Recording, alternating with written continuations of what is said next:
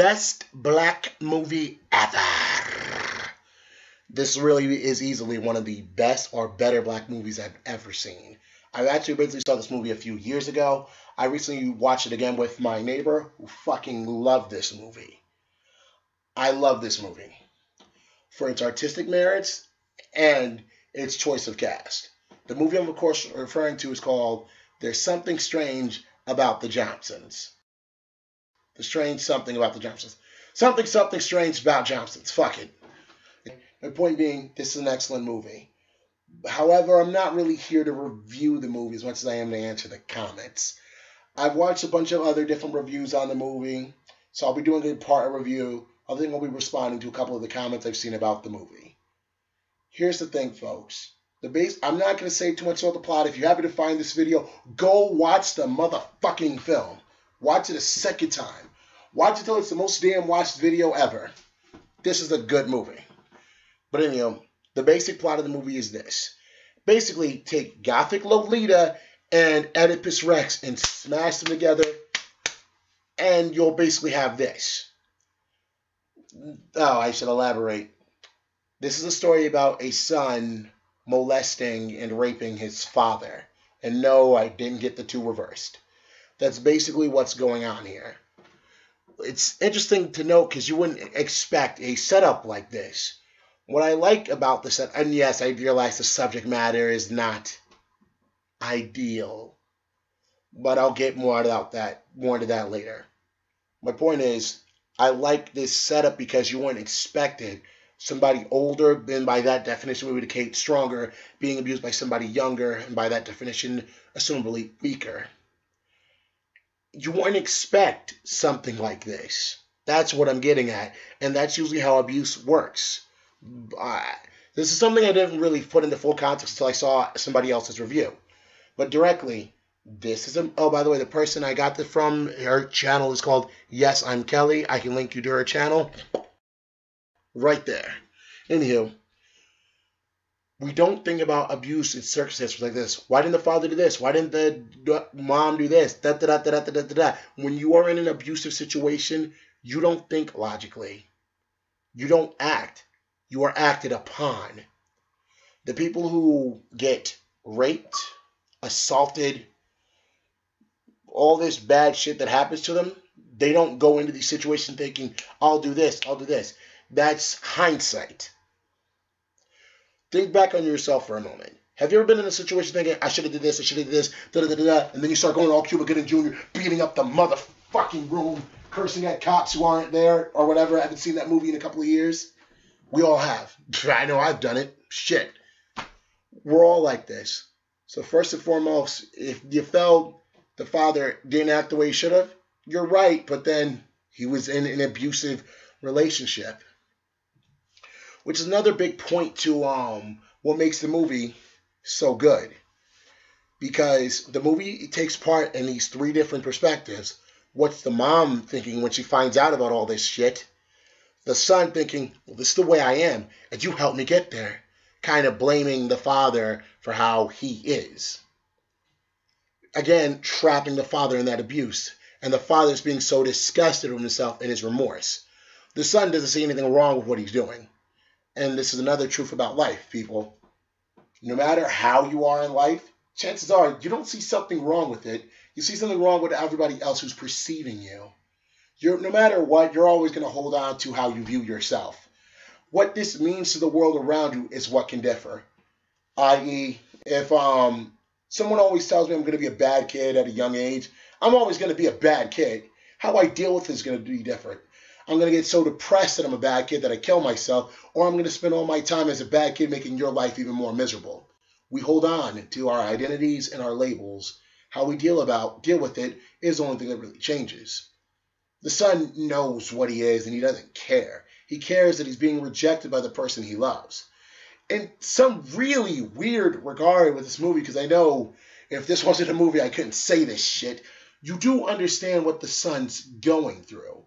He loves his father. His father inadvertently at the beginning of the film, by now you should have seen the movie if you didn't, fuck you.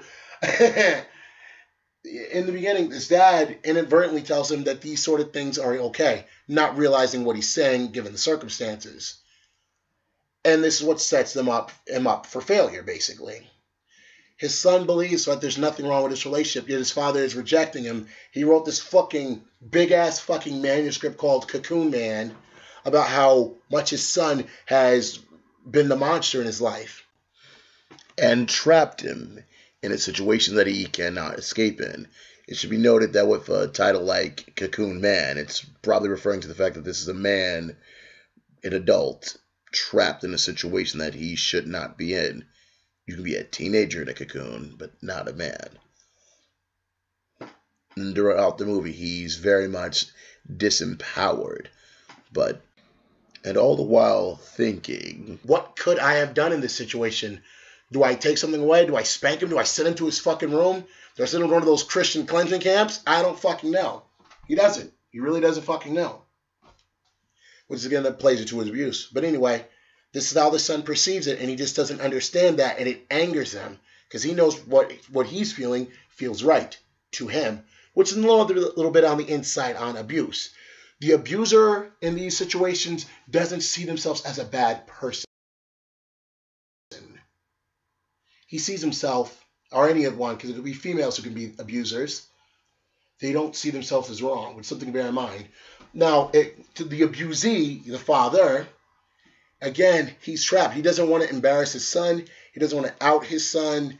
He does, he's paralyzed by what he feels he should do and cannot do, and ends up doing nothing, which I always found interesting because the mom, when she finds out, kind of does nothing. She doesn't know what to do. In the same regard, the father didn't know what to do while this was going on.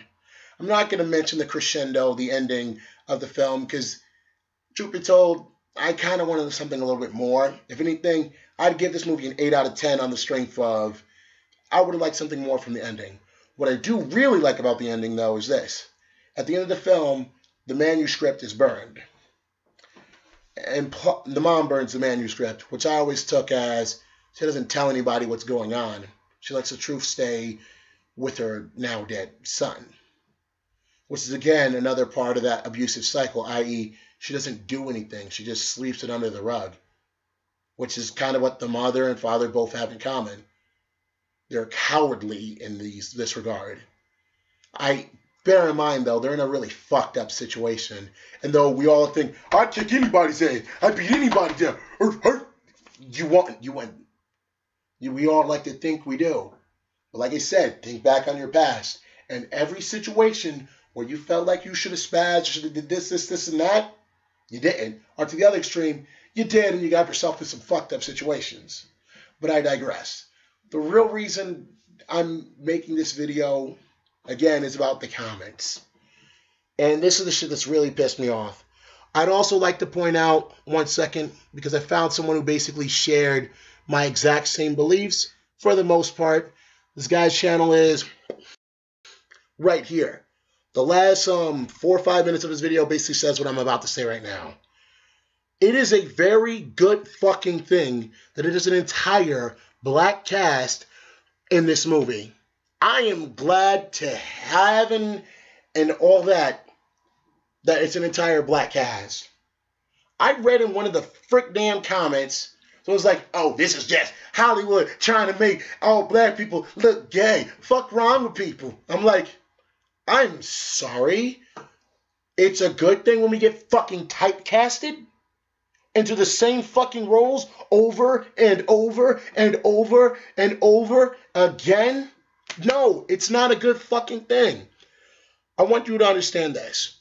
When, let's call them black movies or whatever, when black movies get made, a very select few get to decide that movie gets made.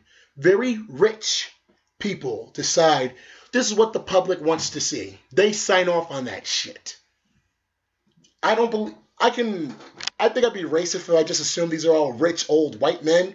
Even if I'm probably right, and I think I'm probably right, I just call them rich.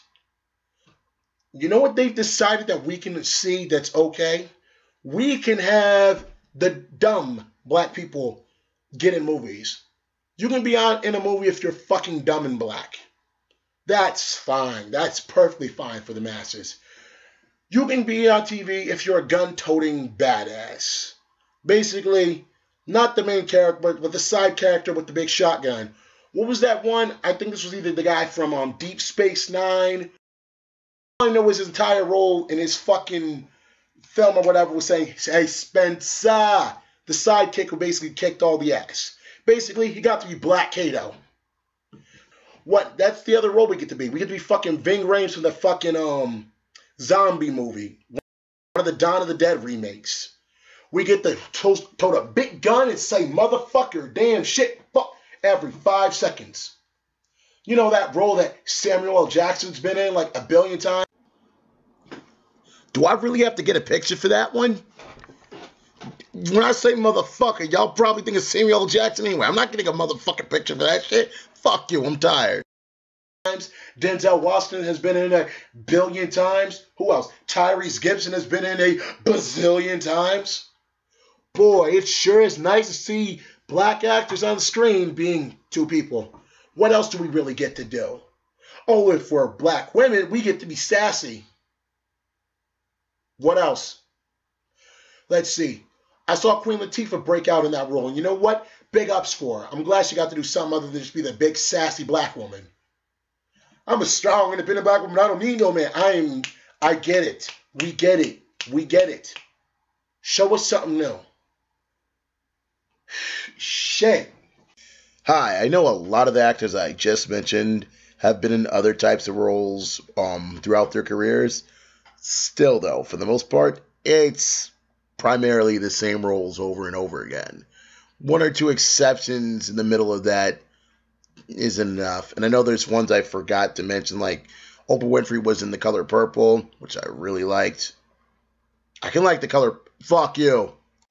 This is why I like the fucking film. This is exactly why I think it's one of the best fucking films. It's an entire black cast doing something you would never associate with black people. Homosexuality and incest. Matters that I know make people feel uncomfortable. Disgusting, even. I don't care.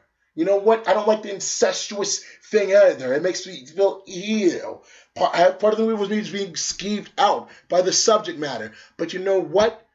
Seeing how I watch movies where people get fucking decapitated normally, I watch movies where um, women get abused normally. I watch every fucking movie under the sun that I when, which features things I feel wrong. I don't see the point in cutting this one out because I don't like the subject matter. On an artistic level, the way it displays it and portrays it is done extremely well and very efficiently. And you know what? What else I really like about the film? It's a movie that isn't basically predominantly dominated by race. I am so. Do you think that's all we talk about? No, I bet this is what I think those rich motherfuckers I just mentioned think all we care about race, race, race, race. You know, because that's all we have going on for us. We're nothing except our fucking skin color. Anybody see a problem with that? Because every problem you have is basically a race one and nothing else. Shit. Man we get typecasted. And what's the point? That doesn't make us seem like actual characters. It makes us seem two dimensional, static, flat, not well rounded. It makes us side characters. And you know what? In this movie, all the characters were black. There were only like two random white people throughout the film. You would never see something like that normally. And it's there. And it's done very well. This is a beautiful fucking movie. We need more movies like this. Do I like the subject matter? No one does. I, I like the fact that it tackled abuse. The incest thing is really fucking weird. I don't really care that it was a gay movie. Personally, I'd, I'd actually rather see more gay movies that had more diverse actors portraying them. So what happens to black movies don't happen to gay movies, which is guess what happens to gay movies? Typecasted. I was fucking checking in my on my fucking Comcast on demand bullshit. You know what they had? Every movie that dealt with homosexuality or lesbians or whatever, typecasted, one selection, so it's segregated from everything else. Same thing that happens to black movies. Want to see a, black, a movie that has predominantly black characters like this one? In a separate category. Way to segregate. This is a problem. It's a real fucking problem. You don't like the subject matter, you don't believe the subject matter. The problem is you don't want to face the fact that this is something that could happen. And it can. I'll be honest, I got abused before. Nothing sexual, but it happened. I don't need to go into details about it because it's not it's not just my business, it's a family member's business. Actually, I am going to go into a quick detail about my situation because I realize this is a video about, well, seeing black people in good roles and about abuse. And um, there's something I think that's very important that I feel I can share to anyone who's been in a situation like mine. I prioritized respect and honor of this family member a lot more so than my own, than myself. And that was a mistake. That was a disservice to me. You are only powerless when you relinquish that power to something else. When you start believing that you cannot do something. When you buy into that idea that you can't, then you can't. That's when you lose. And that's a choice. And now for the real reason why I'm talking like this to you, interrupting the rest of the flow of my video and not to make a stupid fucking joke. One moment, because this is heavy. What I'm, what I want you guys to understand is this. At times, doing the right thing is not going to feel right. Your emotions are going to tell you otherwise. People, when they get into abusive relationships, it is pulling on their heartstrings. It is in part love love is I don't fully believe that that little feeling you feel in your chest is exclusively a good feeling. Cause you know what? The son really is in love with the father. The father loves his son. This is all this is all a contortion on that love into the ugly relationship they are in. The abusive relationship they're in. That's the ugly part. It's all it's still intertwined with love it, the father isn't going to feel like he loves his son if he if he had released the manuscript or or made it stop, but it would have been the right thing to do. This is what I'm really trying to say. You have the right to defend yourself, and no matter what, just because your heart is telling you no, that doesn't mean it's fucking right. The family member in question I'm referring to is someone I care about a lot, and I had to go against those feelings to get myself in a much better place if I didn't start standing up for myself. And boy, it was not an easy process. I wouldn't have this apartment. I wouldn't be in school. I wouldn't have a car. I wouldn't have money to my fucking name. It did not feel right. Um, uh, when it, the falling out happened between me and this family member. But you know what? I'm a lot better off because of it. I was. I'll put it this way. I was prioritizing. Oh my, oh my God, almost like the father in this regard. I was prioritizing somebody else's feelings more so than my own, which is not the right thing to do, which is what the father basically did. Prioritizing how his son feels, how his son might be affected, he set himself up for failure. He set himself up for this abusive relationship because he didn't realize he had the right to fucking defend himself. He let this happen to himself. Which another interesting note is that's what the son is implying. The son says, "Yes, I was evil. I rushed in too hard. I hurt you. I hurt your ass the last time I fucked you." Sorry, I didn't mean to laugh. My point is, or what am I trying to say? God, what am I trying to say? Edit this part out. I'm saying he keep it. The, the son's major argument against the father is it takes two to tango. You knew it was wrong and you let it happen. You couldn't stop me. You chose not to. Two to tango. Listen, folks, I get it. You don't want to associate blackness with these things because God forbid there are black gay people. God forbid there are incestuous black people. Actually, I wouldn't want there to be either, but you know what? It does happen, and that's some shit that needs to be portrayed. There is some shit that is true about your life that is not being portrayed out there that you experience. There are lots of movies that I feel for other races when they see themselves, it's portrayed and captured, and it is it fully captures what they go through. This is not only very sad situations are constantly being portrayed, and that's sickening. I hate that shit. what's the fucking point of acting if you can only be the same type of characters? And I know there are black actors who aren't typecasted. Um, let's see, the kind of they still are, but it's very selective. Laurence Fishburne, Fishburne, Fish, Lawrence Burner of Fishes, and fucking Morgan Free Anyman, Morgan Freeman, Huey Riley Freeman, whatever. That's if they get typecasted too. They can still be, oh, and look the term up before you call me a racist. They get to be the magical Negro. The magical Negro is an old term, basically means, which is basically me saying like this He's not my race. He must be exotic and possess some type of knowledge I don't have. I should learn from him. I'm not hating on Morpheus for being that character. I'm not even hating on Morgan Freeman for being that character. I'm saying uh, my problem is that's when that's all they can be. Hell, does the same thing happen to Samuel L. Jackson too? I know I'm naming some of the ones that proves the diversity. It's a very set diversity of roles. It's a good fucking thing to have more black actors in a more diverse set of roles. Because you know what it in the end it shows us? It shows us that most people of one specific race are not all that their race is. Matter of fact, one of my favorite black superhero characters isn't fucking um, John Stewart, the Green Lantern.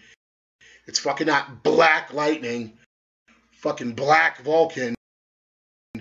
Or um, what else? Who else we have that's just black in the front of their fucking name? There's only like four or five other characters who are just black this or black that in DC Comics. Anywho, you know what my favorite is? Fucking Spawn, Alan Simmons. Want to know why? He's a multiple multiple dimensional character with lots of different facets about him. His race is just one part of it, not the whole fucking thing. Seriously. That's a good thing. A multiple sided, multi sided, fully fleshed out character are what we need more of. This is why I really, I'll stand by this movie. I'm not endorsing incest as an okay thing for people to do because that's really fucked up and evil as shit. Oh, guys. Ugh. Ugh. No. Don't fuck your family. I know a lot of people hate your a lot of people hate their families. Seriously, that doesn't mean you go fuck your family. Don't fuck your family. God, disgusting. Seriously. The fact of the matter is, if you cannot handle seeing a movie out, movie like this, then you should know right now what you're basically saying is you like it when motherfuckers get typecasted. You like seeing the same actors in the same role. That's not a beef with the movie. That's a beef you have with yourself. Oh, and this is an independent motherfucking movie made by Ari Aster. Uh, I believe it had some wide circulation with the backing of Sony, but I'd have to double check the credits. You dig? It's a good fucking thing. And folks, if we don't have more movies like this where we have black actors, and larger diverse roles, every person is going to come up to you one day and be like, "Hey, why aren't you? Why are you smart?" Oh wait, that's right. This is one of the other reasons why I, I want to see people in larger roles, because it means I'll stop hearing this. You speak so well. Oh, you're surprised that I'm smart. I guess you haven't realized that black people can be smart too, because we sure as hell can be dumb. We can sure as hell get movies where we can portray dumb characters. Or I could be the character that says motherfucker. What else can we be? Or we could be Mr. Magical Negro. It's a term. Look it up. I'm not being racist. That's what the term's called. Fuck. What else can we fucking be? We can be gangsters. We can be hoodlums. God forbid we be fucking businessmen. God for fucking bed.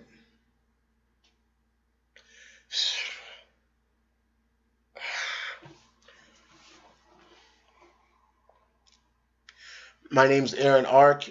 I wish I could say I'm be making more videos. I probably will. You'll see. Anyway, Ari Aster, I hope you should get a fan page, make more movies.